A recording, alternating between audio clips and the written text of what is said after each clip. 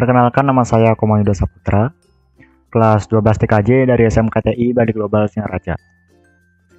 Pada kesempatan kali ini, saya akan memberikan tutorial cara belajar typing skill menggunakan smartphone. Nah, latihan typing skill ini tidak hanya bisa dilakukan di PC atau laptop saja. Namun sekarang sudah bisa dengan menggunakan smartphone.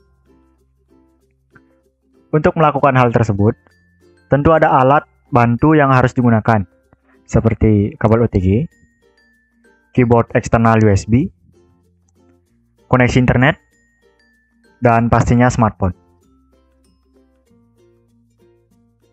Kemudian, kabel OTG tersebut ada dua jenis, yaitu OTG yang menggunakan kabel dan OTG tanpa kabel.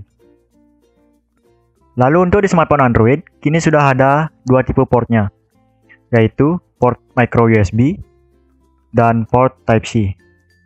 Jika kalian membeli kabel OTG, pastikan portnya disamakan dengan smartphone yang kalian miliki.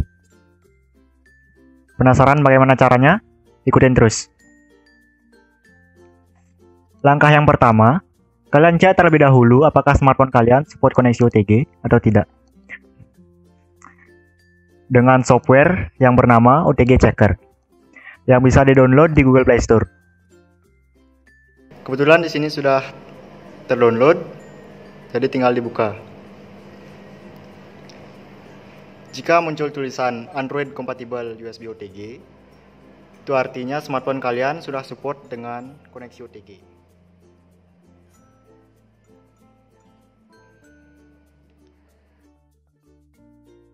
Sambungkan keyboard USB dengan kabel OTG.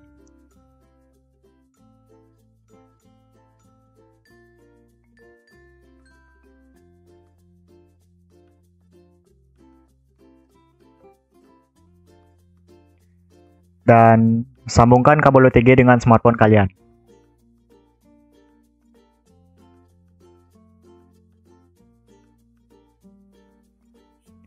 Jika sudah, Pergi ke menu pengaturan smartphone dan cari pengaturan tambahan.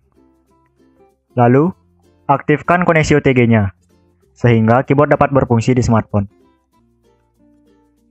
Kemudian, pastikan smartphone kalian sudah terkoneksi ke internet dengan menggunakan WiFi ataupun paket data.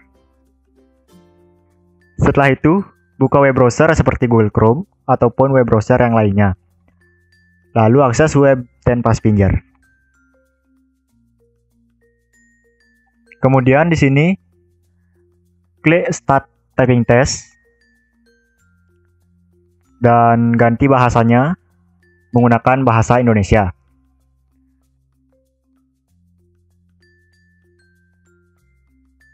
Maka mulailah mengetik.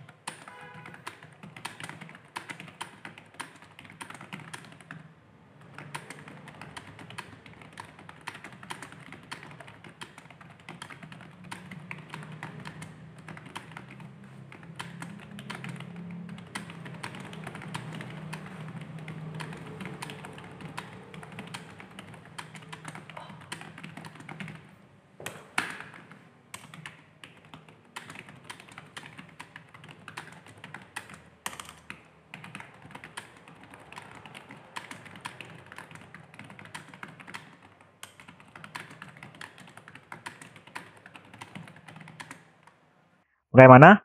Sangat gampang kan? Selamat mencoba.